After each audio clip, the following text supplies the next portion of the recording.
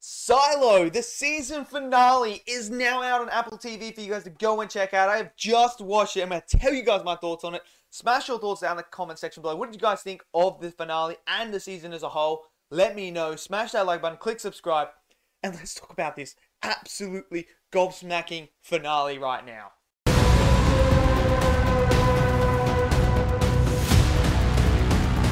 Okay, so the season finale of Silo is now officially done and dusted. Man, I mean, I'm actually lost for words at this finale because I did not expect that to happen at all.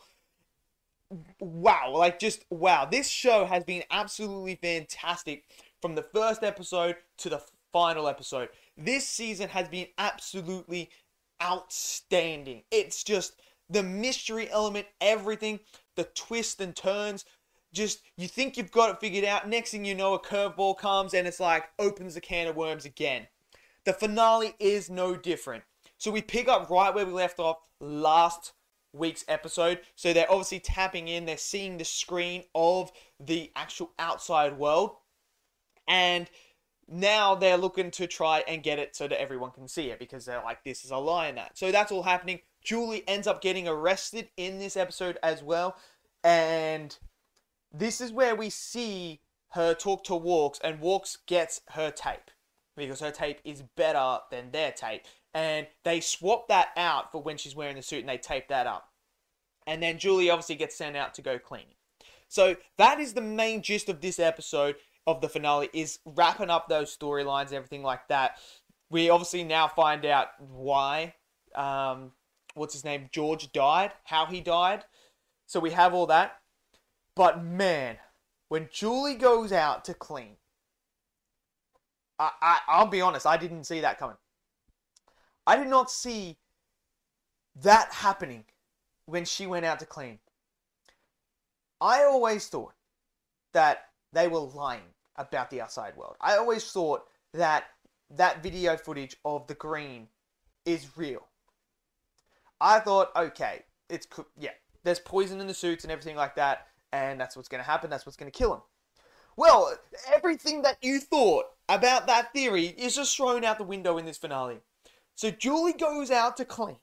She refuses to clean the camera.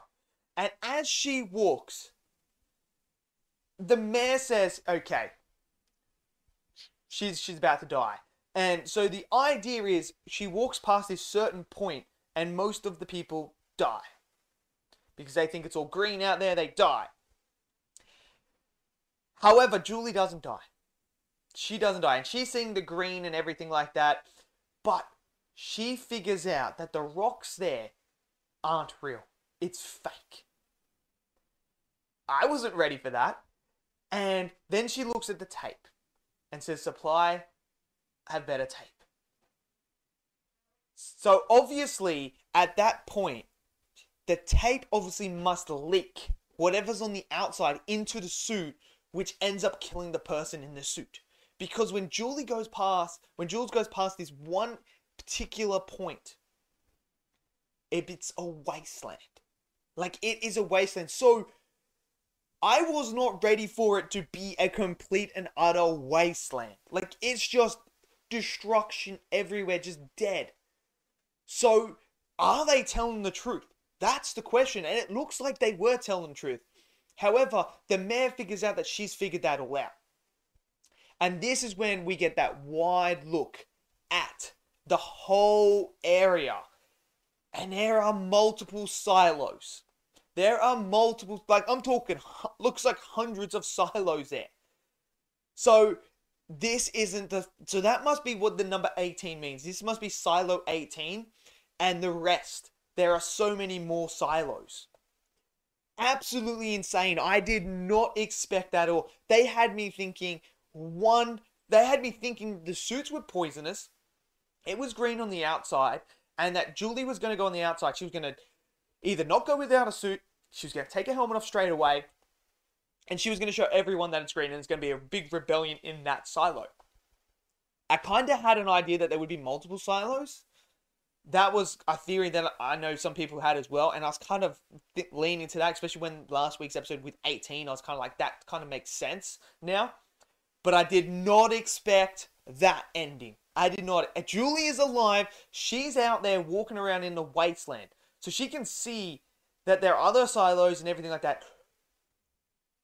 I'm gobsmacked. That just, just what is going on, man? I just never expected it. And that's what shows how good of a show this is. It directs you one way and then spins the 180 on you and sends you back the other way.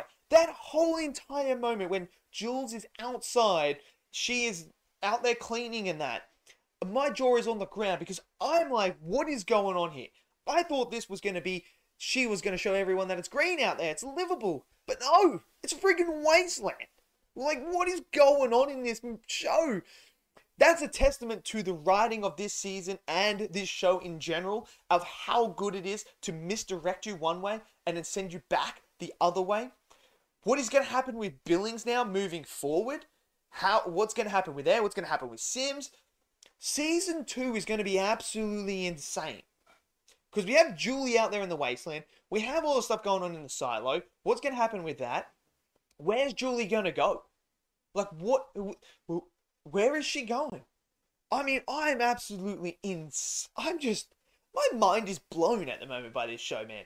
The writing has been fantastic. The character arcs have been fantastic. Jules has had this beautiful character arc. And this moment where she has it with her father again here, it's just absolutely wholesome. She has that moment with Walks as well, where Walks goes out of the actual her house that she hasn't left for 25 years or so and goes and gets that tape to get it swapped out. Like this it's just been absolutely fantastic. You have these characters who are supposed to be the villains of the show, which is the mayor and Sims, who are fantastic as well. They have their own little stuff going on. Billings is such a great character. The music choice for this finale was absolutely perfect because it's sending you this message of like she's going to be this hero. You're getting hero vibes from it, like she's going to save everyone in the silo here. She's going to show them the truth. And then it does the 180, and it's just the, the score just worked perfectly. The cinematography has been absolutely fantastic as well throughout it. I thought the design, the set designs, and everything like that looked fantastic. This show has been a home run for me. From the first episode to the final episode, I've enjoyed every single episode. Every episode has put something on in that episode that has got me excited, that is sending me a direction. It's just, it's a fantastic mystery thriller that I think most people need to go and see because it's just so fantastic. It's not high octane action, it's a nice paced build up to a mystery that gives you this finale that is absolutely incredible. This has been one of the best shows of the year so far. It's just wow.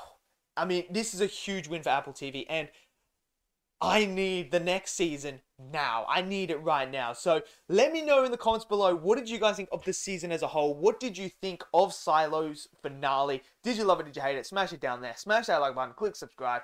And I'll see you guys in the next video. Until then, stay safe and peace out.